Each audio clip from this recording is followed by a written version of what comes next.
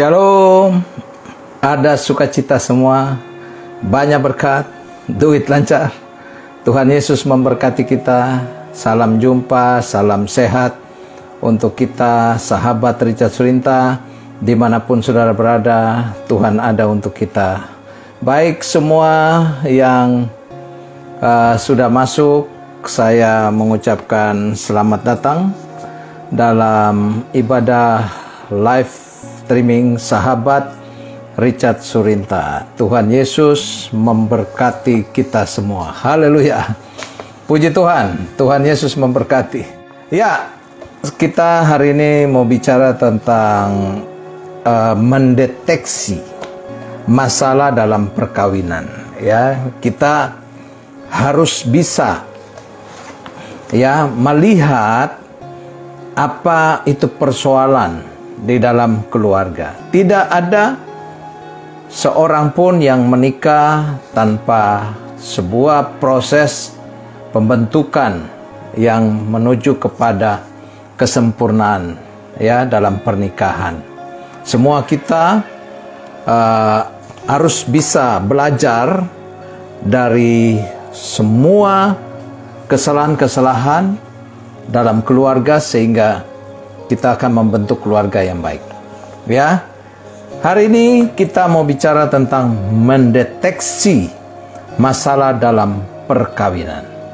Sebelumnya saya mau berdoa untuk kita semua. Bapa dalam nama Yesus, hamba doa untuk kami semua sahabat Richard Surinta yang akan masuk di dalam uh, renungan firman Tuhan berkati sehingga setiap kami yang mendengar di jamaah Tuhan, yang belum menikah mempersiapkan diri untuk masuk dalam pernikahan, dan yang sudah menikah kami boleh belajar untuk diproses, dibentuk kembali, agar kami bisa membentuk keluarga yang baik dan keluarga yang diberkati. Sesuai dengan firman, keluarga yang rukun dan damai, ke sanalah Tuhan memerintahkan berkat. Dalam nama Yesus, sambut firman Allah dengan ucapan syukur. Sama-sama kita katakan, amin. Amin. Baik saudaraku yang kekasih dalam Tuhan, mendeteksi masalah dalam perkawinan. Semua yang bawa Alkitab kita bisa lihat di Matius 19. Matius 19 Ya, Matius 19 ayat 5 dan ayat 6 ya Matius 19 ayat 5 dan 6. Kita baca. Dan firmannya sebab itu laki-laki akan meninggalkan ayahnya dan ibunya dan bersatu dengan istrinya sehingga keduanya itu menjadi satu daging.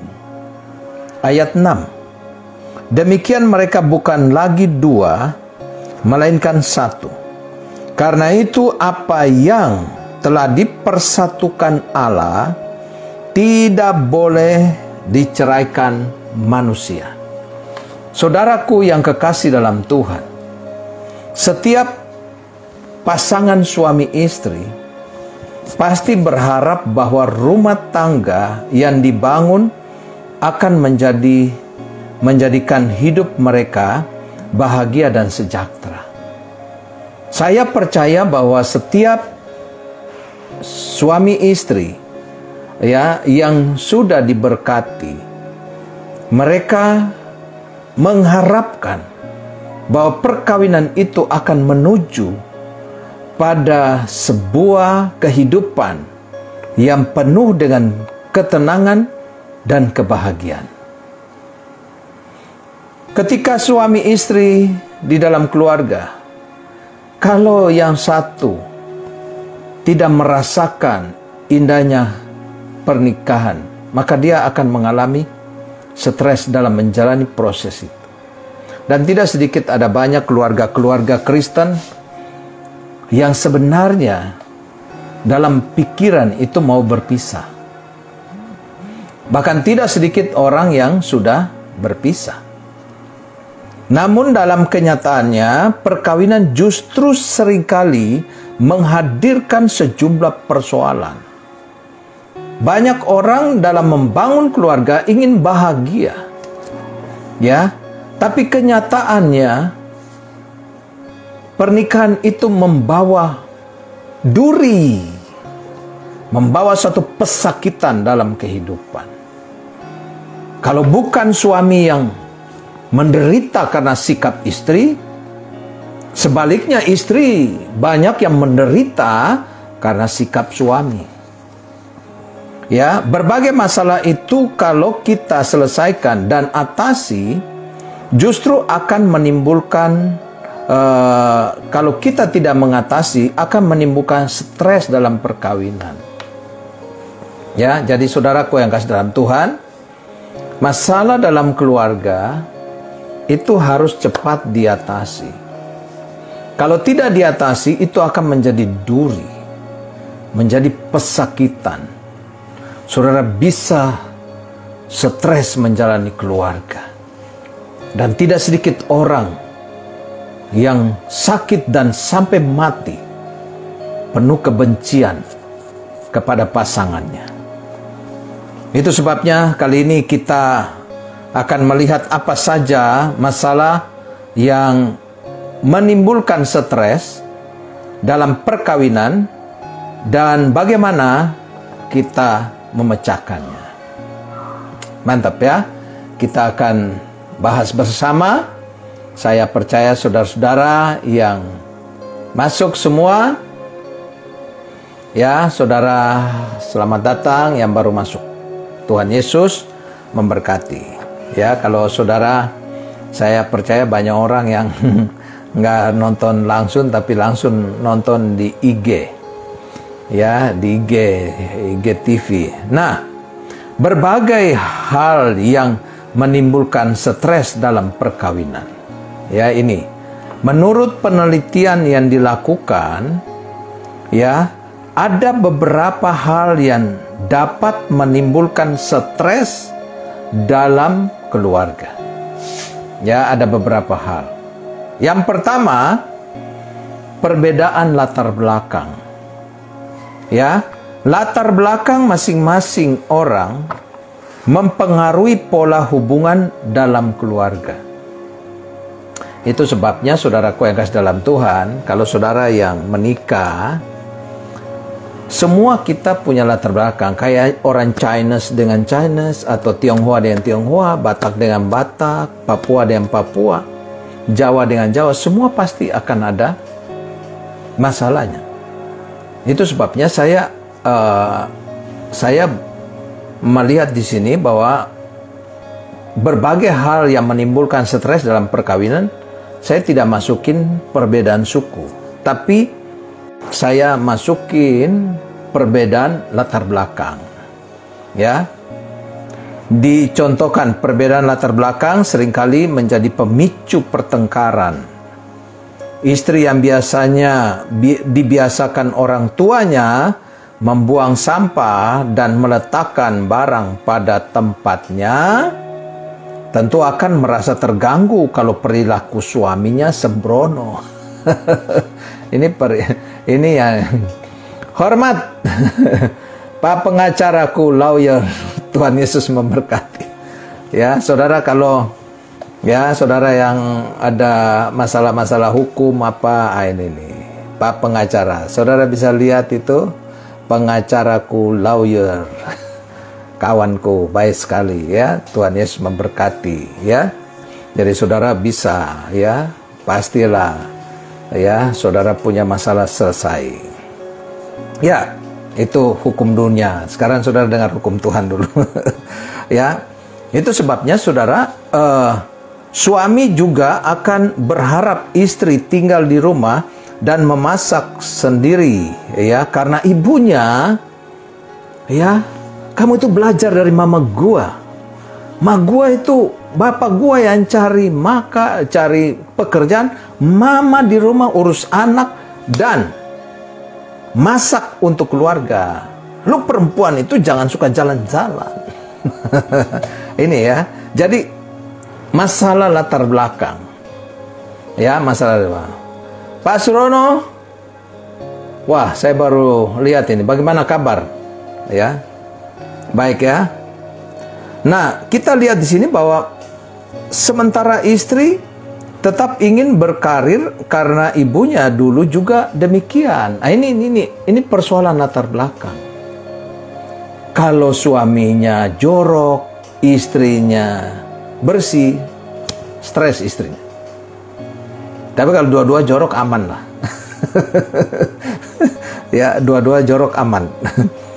Suami lebih suka nonton film perang, Sedangkan istri memilih memutar acara sinetron di televisi.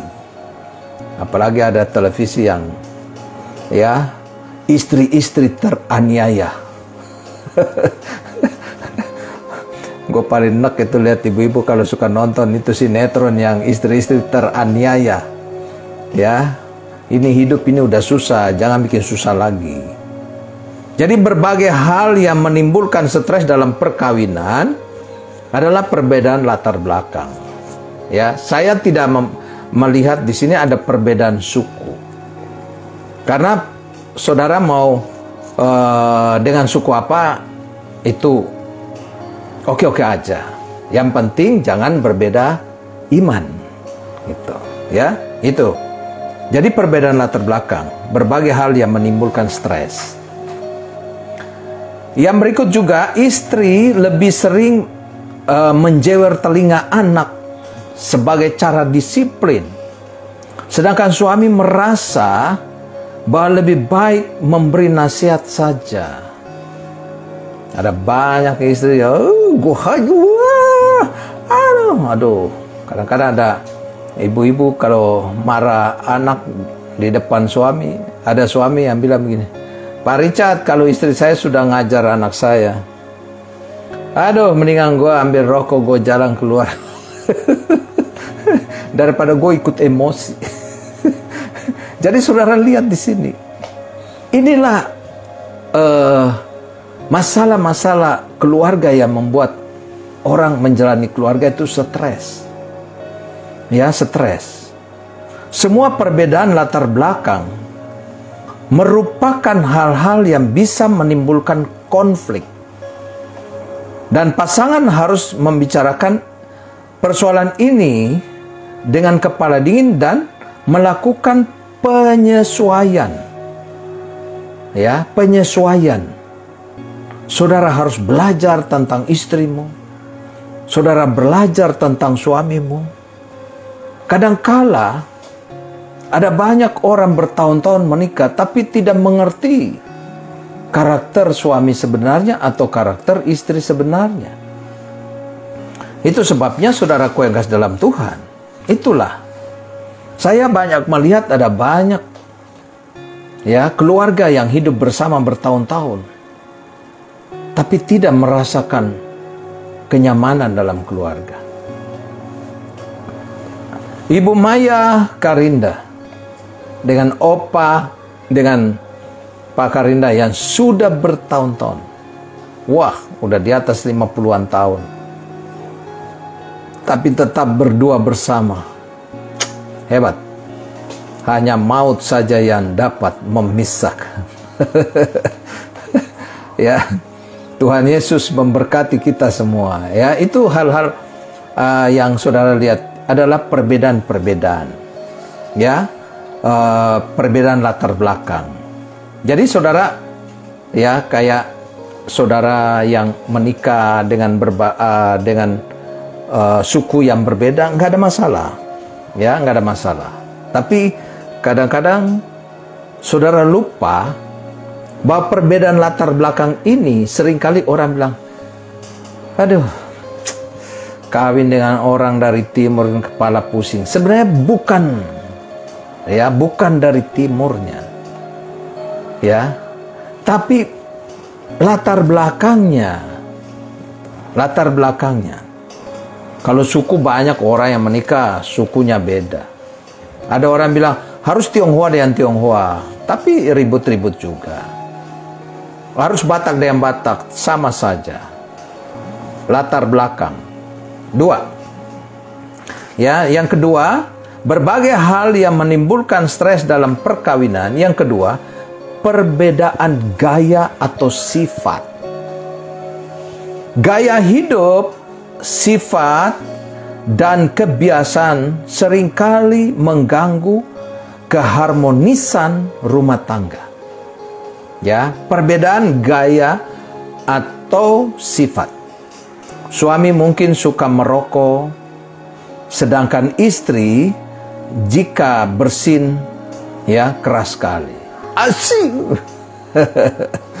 ya. Ya, kadangkala setiap orang mempunyai kebiasaan yang membuat pasangan merasa jijik. Apalagi kalau orang kalau tidur ngorok. Ya, apalagi kalau orang yang gendut-gendut kalau tidur itu ngorok pasti.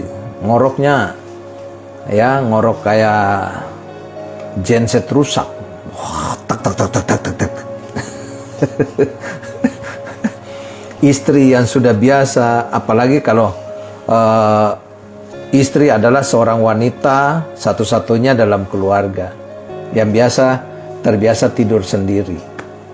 Begitu menikah, tidur dengan suami yang ngorok. Ngoroknya kalau ngorok biasa ya, itu biasa lah. Tapi ada yang orang ngorok, tak tak tak tak tak tak tak tak tak tak tak tak tak udah udah kayak genset rusak saya kayak lupulan di Papua adik saya Ronald namanya dia bilang ya Papa Ica ton tidur sama-sama di depan ya. Iya. Ya baru tidur sebentar langsung genset rusak. Papa papa papa ya inilah ya perbedaan gaya atau sifat. Ya Dilihat di sini juga bahwa istri kalau tidur harus cuci kaki dulu. Sedangkan suami, sementara suami langsung naik ranjang. Ya. Perbedaan tersebut bukannya tak dapat diatasi tetapi akan menyebabkan orang menjadi stres. Belum lagi perbedaan jenis kelamin yang merupakan hasil dibesarkan sebagai seorang laki-laki atau perempuan selama ini. Nah ini ini yang saya mau bilang bahwa saudaraku yang kasih dalam Tuhan perbedaan gaya ya kadangkala ya ada laki atau suami yang kalau bersin tisunya dilempar-lempar sembarang dan sebagainya. Aduh.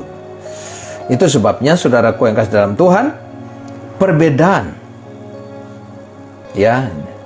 Kalau dulu ya pacaran kentutnya ditahan. Kalau ibu-ibu wanita itu selalu jaga image ya. Kalau lagi pacaran ya kalau lagi pacaran mau kentut aja tahan. Hmm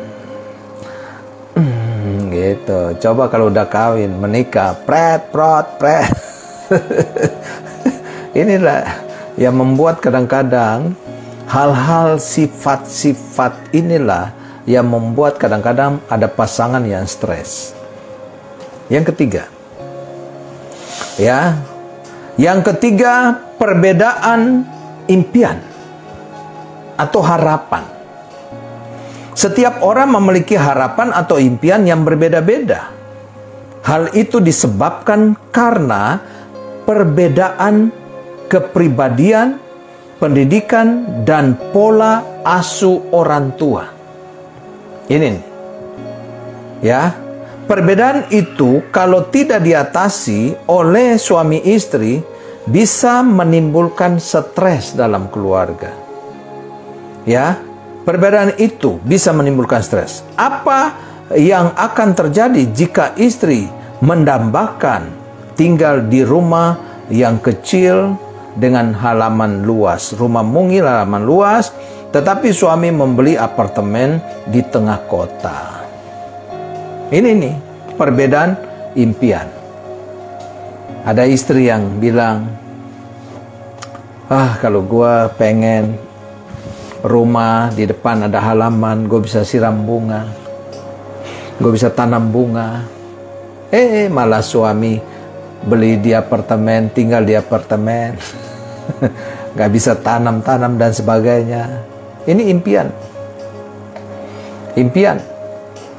Satu saat nanti gua akan membalas orang tua gua. Kenyataannya suami menjadi su suami yang pelit. Lu jangan bantu-bantu orang tua lu terus ya. Gua nggak demen. Emang duit lu? Nah, jadi persoalan. Ya, jadi persoalan. Ini perbedaan impian. Tidak sedikit. Tidak sedikit istri-istri yang rindu untuk membalas budi kepada orang tuanya. Tapi berkat itu ditahan sama suaminya. Ini yang disebut impiannya. Ya. Impiannya tidak sesuai dengan apa yang terjadi. Ya, dikatakan di sini juga bagaimana bila suami memimpikan menjadi pelukis terkenal tetapi pasangannya ingin suami berkarir di perusahaan. Ya, ini.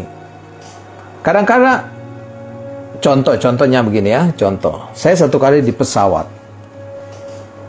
Saya lagi di pesawat duduk di pesawat Garuda. Bisnis lagi lagi duduk. Ya, saya lagi duduk tiba-tiba pramugari berlutut di samping tempat duduk saya. Dia bilang, Pak Pendeta, saya kenal Bapak. Pak Richard selalu menjadi berkat bagi saya dengan khotbah-khotbah. Sekarang saya mau tanya. Calon suami saya adalah dokter. Ya, calon suami saya adalah dokter dan saya pengen dia jadi dokter. Tapi sekarang dia mau lepaskan dokter, dia mau jadi penginjil. Saya stres, Pak. Ya, akhirnya pramugari ini ngomong sama saya. Ya, dan saya katakan dengan santai aja.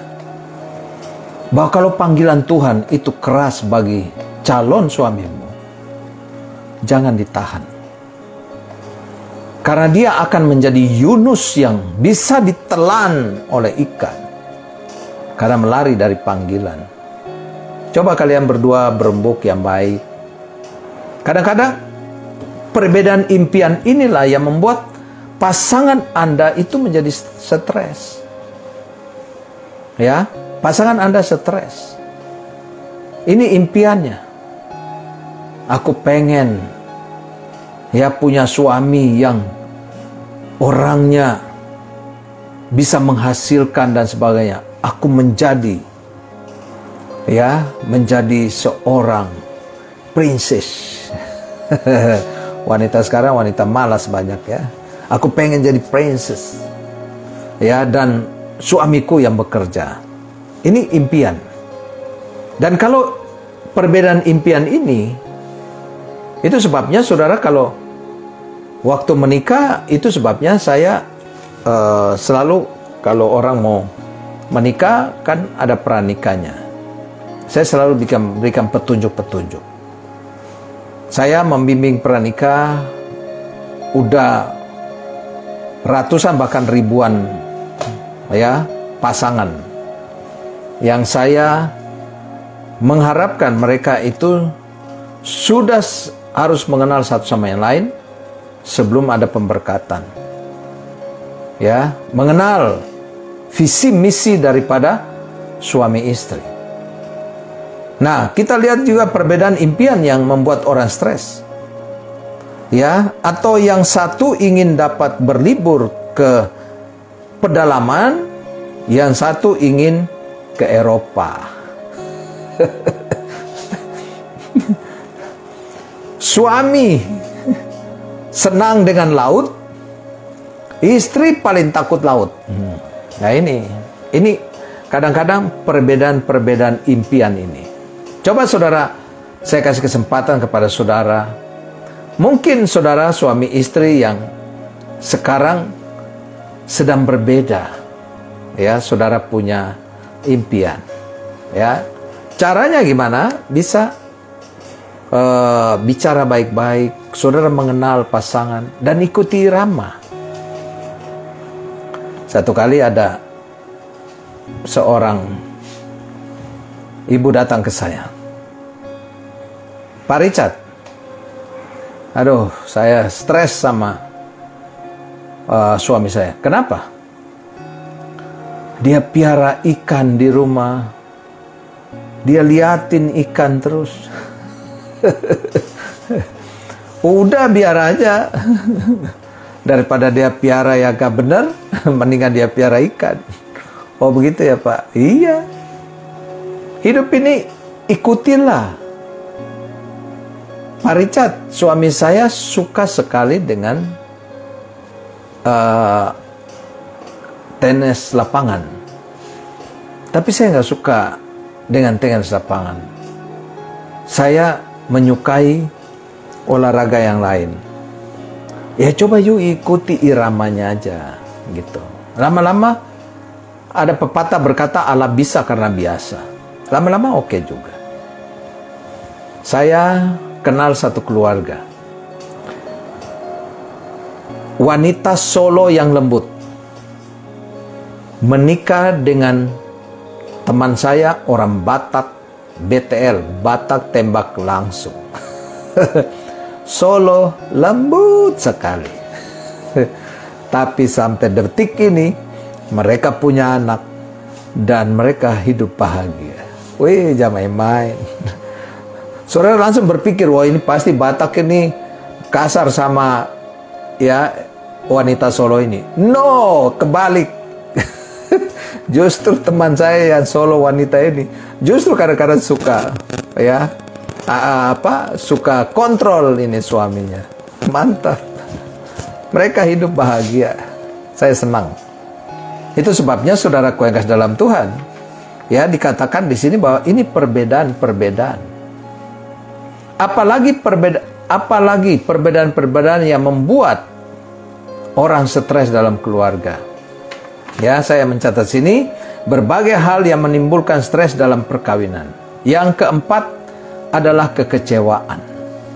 Ya, nanti sebentar saya uh, kasih uh, saudara ikuti dulu ya firman, jangan bertanya dulu. Nanti sebentar saya akan kasih waktu tanya, tanya jawab. Ya, saya firmannya cepat supaya Saudara yang mau bertanya, saya menjawab ya. Mantap sekali. Yang keempat, yang keempat, berbagai hal yang menimbulkan stres dalam perkawinan adalah kekecewaan. Sebuah uh, sebelum menikah, banyak orang memimpikan dan membayangkan bahwa pernikahan akan membuat mereka berada di langit ketujuh. Ini nih sebelum menikah.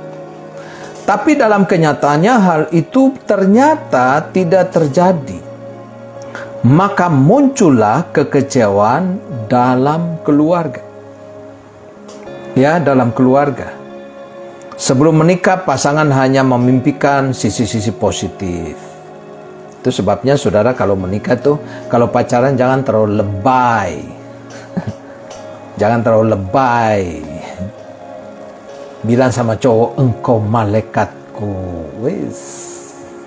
Tanya ibu-ibu suami masih jadi malaikat? Masih pak. Malaikat pembunuh. Jangan pacaran bilang cewekmu. Engkau bidadariku. Tanya suami-suami apakah istri masih menjadi bidadari? Masih. Bidadari laut pantai selatan. Ya jadi banyak orang yang kecewa. Itu sebabnya dalam pemberkatan nikah saya selalu bilang bahwa setelah saya memberkati Anda berdua, maka setengah cinta, 50% cintamu berkurang. Dua-dua bingung, ha? Pak cinta kita 100% akan dipotong 50%. Kok bisa ya Pak? Bisa. Karena orang kalau belum belum menikah tuh begitu. Sayang, kamu di mana sayang? Aku di Kelapa Gading Mall. Oh nanti aku jemput ya sayang? Enggak, biar aja aku pulang naik Grab. Oh langsung cowoknya, enggak, aku enggak suka lihat wanita yang aku cintai jalan sendiri-sendiri. mantap. Ya, mantap. Orang kalau pacaran gitu. Tapi coba menikah. Ibu-ibu yang sudah menikah. Ada di mall, telepon suami. Pak, mama di mall. Nah, langsung jawab apa? Terus kenapa? Lu bisa pergi, lu nggak bisa pulang. Setan. lu pikir gua nggak ada kerjaan apa? nah itu kecewa.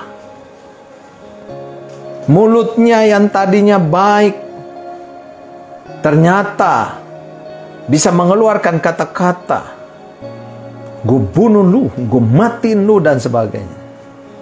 Ya, itu itu itu sebabnya kata-kata lembut waktu pacaran itu tidak terdengar lagi. Ini hal-hal ini yang membuat banyak orang dalam keluarga membangun keluarga penuh dengan kekecewaan. Ya, demikian mak, uh, makin menua seseorang, banyak suami istri tidak puas dengan kondisi pasangannya. Tidak sedikit suami istri yang hidup bersama dalam keluarga, tapi tidak membangun cinta kasih. Hidup dalam makian, hidup dalam uh, hal-hal uh, negatif, suami istri tiap hari ribut. Nah ini, ya, ada banyak orang kecewa dengan, dengan pasangannya. Keromantisan yang dulu hadir dalam masa pacaran, lama kelamaan semakin menghilang dan tidak jelas. Dan ini sangat mengecewakan. Ada banyak orang yang mau bercerai, tapi malu kepada keluarga, malu kepada orang banyak. Ya, itu sebabnya saudaraku yang kasih dalam Tuhan. Inilah tidak sedikit orang yang membangun rumah tangga dengan penuh kekecewaan. Yang kelima, yang kelima, berbagai hal yang menimbulkan stres dalam perkawinan. Yang kelima, perebutan kuasa ada perebutan kuasa. Meskipun sudah disepakati suami adalah kepala keluarga, perebutan kuasa bisa terjadi. Istri sering men mencari upaya mempengaruhi keputusan suami dan sebaliknya. Saya mau bilang ibu-ibu di sini semua bahwa suami itu adalah kepala. Keputusan yang sudah diambil berdua jangan diintervensi. Ya. Pak suami saya itu memang orangnya terlalu lambat, pikirannya terlalu lemah. Sebodoh-bodohnya suami, ingat Tuhan kasih dia mandat hikmat untuk memimpin.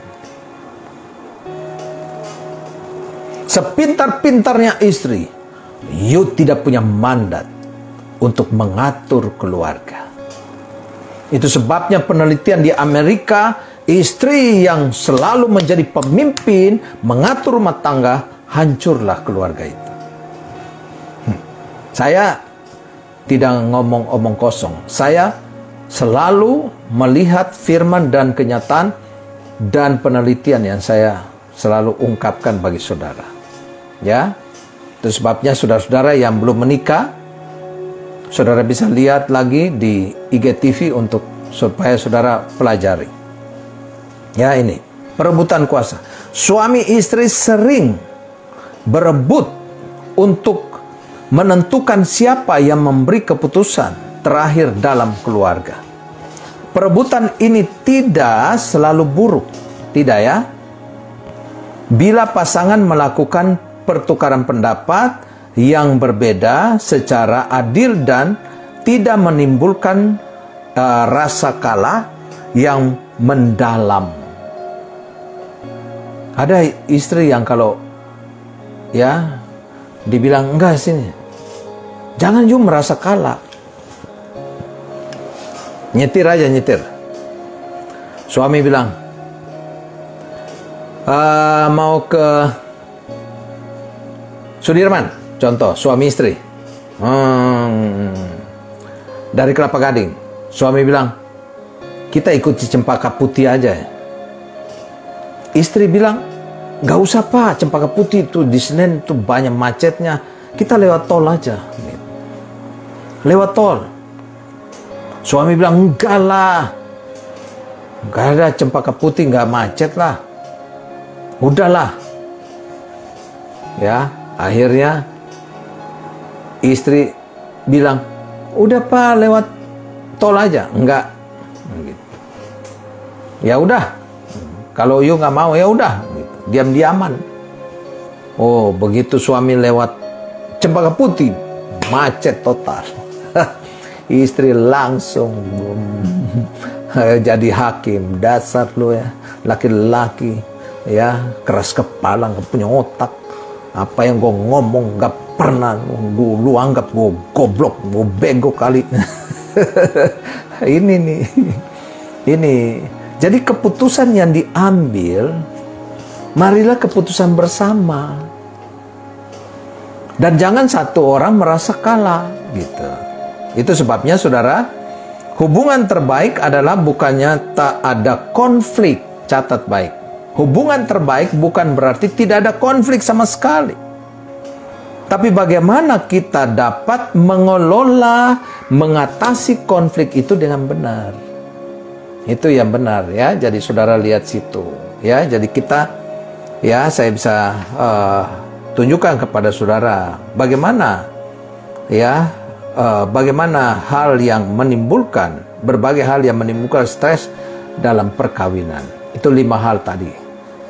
Yang berikut, solusi untuk masalah dalam perkawinan ya masalah-masalah yang tadi lima tadi apa solusinya ada tiga solusi utama yang saya catat bisa diambil untuk memecahkan semua masalah di atas ya kita baca dulu Roma 5 ayat 8 Roma pasal 5 ayat 8 kita baca. Akan tetapi Allah menunjukkan kasihnya kepada kita. Oleh karena Kristus telah mati untuk kita, ketika kita masih berdosa. Yang pertama, solusi untuk masalah perkawinan Anda. Terimalah pasangan apa adanya. Saudara Jangan merasa terganggu. Ikutilah maunya. Ikutilah dan jangan menantang terus. Kalau suami adalah kepala, maka istri adalah penolong. Saudara jangan salah loh. Saya baca tafsiran Alkitab. Yang ditolong dengan menolong, yang ditolong dengan yang menolong itu dalam konteks Alkitab itu justru lebih kuat yang menolong. Kadang-kadang suami itu agak lambat dalam berpikir. Coba saudara menjadi penolong untuk mengatasi bukan menjudge. Apa-apa itu terlalu lambat ngomong. Orang udah begini-begini semua, papa itu masih berpikir. Jangan ya jangan menjudge pasangan Anda. Terimalah pasangan Anda apa adanya. Solusi terbaik untuk meredam setiap perbedaan dalam rumah tangga adalah berusaha menerima pasangan kita apa adanya. Itu berarti kita menerima sisi positif dan negatif pasangan kita dengan rela. Hai. Siapa? Ya, Tuti. Apakah engkau mencintai uh, Abdul? Abdul dengan segenap hati? Iya. Berarti kalau saudara sudah mengaku dalam perjanjian pernikahan, maka you harus rela. Ketika ada persoalan-persoalan dalam keluarga, You harus rela menjalaninya. Dan saudara, semua yang kita putuskan pasti ada resikonya. Ya, itu. Jesslyn Yohanes. Malam Pak Pendeta, bantu doa untuk adik ipar saya namanya Paulus Robi Simatupang, diabetes dan sudah komplikasi. Penyakitnya ada cairan di paru-parunya. Robi dan uh, jantungnya 30%. Kita doakan ya sebentar. Ya, jadi saudaraku yang kasih dalam Tuhan, nah ini, terimalah pasangan, itu solusi. Jangan berusaha merubah pasangan sesuai selera Anda.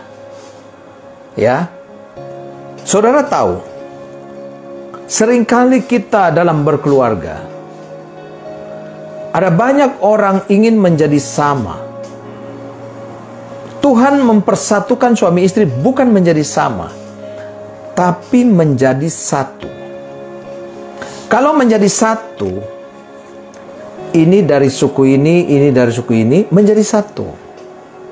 Kalau menjadi sama, you dari suku ini, you tidak bisa merubah istri dari suku yang lain. Untuk menjadi sama, tidak bisa. Tuhan bilang, suami istri menjadi satu, tidak menjadi sama. Apa yang papa sudah gariskan dalam keluarga, jangan ada yang bantah. Jalani saja. Haha, turunan Firaun. Ya, jadi saudaraku yang kasih dalam Tuhan, ah ini. Ya. Jangan berusaha mengubah. Ya. Ini justru akan memperburuk hubungan. Ya, pokoknya mama bilang apa ikut ya, Pak. Ikut aja. Atau sebaliknya. Pokoknya apa yang papa udah ngomong, lu jalani aja. Lu nggak usah ngomong apa, lu nggak usah bantah juga jalan. Stres orang sebagaimana Kristus menerima kita ya waktu masih berdosa demikian juga kita harus menerima semua kelemahan pasangan kita. Ajaib ketika kita menerima pasangan kita dengan tulus perlahan tapi pasti ia akan berubah menjadi lebih baik. Ingat kasus anak yang terhilang. Lukas 15. Setelah dia berubah, dia menjadi anak yang terbaik. Jadi saudaraku yang kasih dalam Tuhan, kita lihat di sini bahwa solusi daripada persoalan dalam keluarga tadi adalah terimalah pasangan apa adanya. Yang kedua, miliki tujuan dan impian hidup bersama. Saya baca ayatnya Matius 18 Ya, Matius pasal 18 ayat 19. Dan lagi aku berkata kepadamu, jika dua orang daripadamu di dunia ini sepakat meminta apa pun juga permintaan mereka itu akan dikabulkan oleh Bapakku yang di sorga. Saudaraku yang kekasih dalam Tuhan, miliki tujuan dan impian hidup bersama. Suami istri lagi berdoa minta mobil. Istri lagi doa puasa Tuhan. Aku pengen Tuhan dapat mobil uh, apart. Tuhan, aku pengen dapat mobil apart. Aku pengen miliki. Gitu. Eh, tiba-tiba Tuhan bilang, kasih. Ya, kasih itu mobil apart. Oh, malaikat bawa. Eh, malaikat bawa kembali lagi. Malaikat uh, Tuhan tanya, kenapa bawa kembali? Kan keluarga itu sudah berdoa. Istri berdoa minta apa? Kenapa you bawa kembali? Kata Tuhan Yesus kepada malaikat. Malaikat bilang, saya mau kasih Tuhan, mau kasih kepada keluarga ini. Tapi di kamar sebelah suami lagi doa puasa minta, Tuhan kami butuh satu mobil Land Cruiser. yang satu Land Cruiser, yang satu mobil apart. Tuhan bilang nggak bisa. Tarik dulu, tarik. Masih berbeda. Impiannya nggak jelas. Tarik dulu. Naik bajai sementara. ya naik bajai dulu. Milikilah tujuan dan impian hidup bersama. Rumah tangga sering diibaratkan seperti sebuah baktera. Baktera itu bisa sampai ke tujuan kalau orang di dalamnya sepakat untuk menuju arah yang sama. Kalau tidak uh, pasti, kalau tidak pasti akan celaka dan tidak maju. Hanya dengan komunikasi dan keterbukaan semua pasti akan diatasi. Win-win solution. Ya, solusi menang-menang. Itu yang mantap. Maksudnya saudara, harus ada kompromi di antara suami istri agar jangan satu uh, merasa menang dan yang satu merasa kalah. Dua-dua harus merasa menang. Kalau mungkin hari ini saudara punya pokok doa dan impian yang berbeda, coba duduk bersama, ngobrol bersama. Ya, yang ketiga. Ya, yang ketiga berlakukan hierarki yang dikatakan firman Tuhan. Hierarki ya. Tapi kita baca ayatnya. Efesus 5 ayat 22 sampai dengan 28. Saudara bisa baca di rumah saya. Masing-masing saudara bisa baca karena ayatnya panjang ya. Jadi saya ingin saudara baca. Ya, berlakukan hierarki yang dikatakan firman Tuhan. Hierarki itu artinya tingkatan ya yang dikatakan firman suami istri. Firman Tuhan mengatakan suami adalah kepala, istri adalah penolong. Jadi hierarkinya, tingkatannya harus ditaati. Bagaimanapun keadaan dan penghasilan suami, ia tetap kepala dalam rumah tangga. Ya kalau mungkin suami punya penghasilan di bawah istri atau istri yang di atas, tetap kunci uh, kepala itu adalah suami.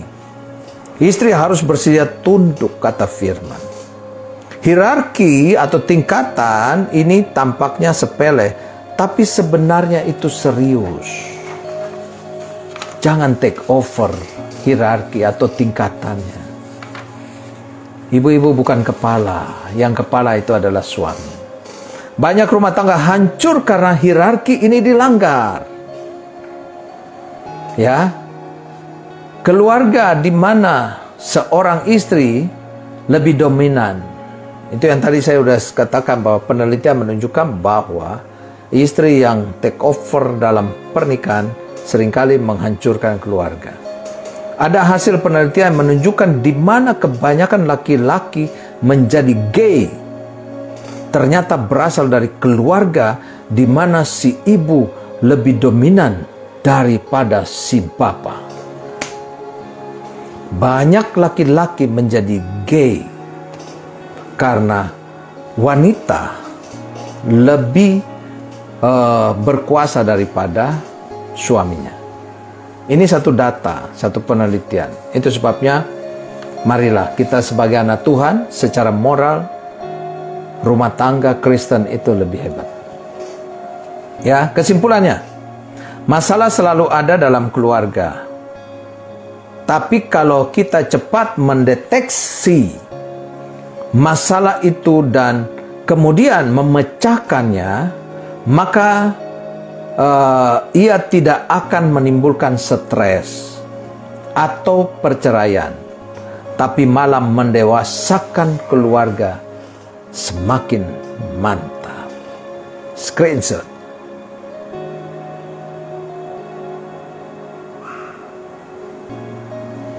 Hormat bagi setiap saudara.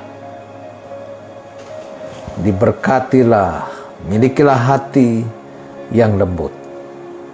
Jangan pernah merasa kalah ketika pasanganmu, ketika suamimu, ketika istrimu mengatakan hal yang benar. Tuhan selalu memberkatimu karena cintanya selalu ada untuk kita. Tuhan Yesus memberkati. Amin buat firman. Oke. Okay. Baik, mari kita berdoa ya. Bapa dalam nama Yesus sampai doa untuk kami semua yang hadir dan yang akan nonton menyusul Tuhan berkati. Kami percaya tidak ada perkara yang mustahil, kehidupan kami akan terus semakin hari semakin diberkati Tuhan. Apa yang kami lakukan berhasil. Kami doa untuk bangsa dan negara kami yang sedang ada dalam masalah-masalah virus ini Tuhan tolong berikan hikmat kepada pemerintah untuk menyelesaikan semua dan merupakan sesuatu yang baik. Indonesia penuh dengan kemuliaan Tuhan. Haleluya. Sehingga di Natal akan datang kami semua gereja-gereja yang sudah membuka tempat berkerumun Tuhan tolak dalam nama Yesus jangan sampai terjadi klaster baru. Tuhan juga berkati GBMJ yang masih terus live dan biarlah ya melakukan protokol kesehatan karena kami tahu bahwa kami semua sadar akan protokol kesehatan, jangan sampai ada yang tertular. Terima kasih, kami doa biar GBHMJ diberkati Tuhan. Di tahun 2021 nanti kami akan melihat banyak jiwa berbondong-bondong. Gembala Sidang Pendeta Helmianto Tuhan berkati. Ibu, Gembala Pamingsu, Tuhan berkati, anak-anak, cucu, mantu diberkati Tuhan. Apa yang dikerjakan selalu berhasil. Perusahaannya diberkati karena selalu menjadi berkat bagi banyak orang. Terima kasih. Besok juga ada live jam 11. Tuhan berkati sehingga banyak jiwa dijamah dan diberkati Tuhan.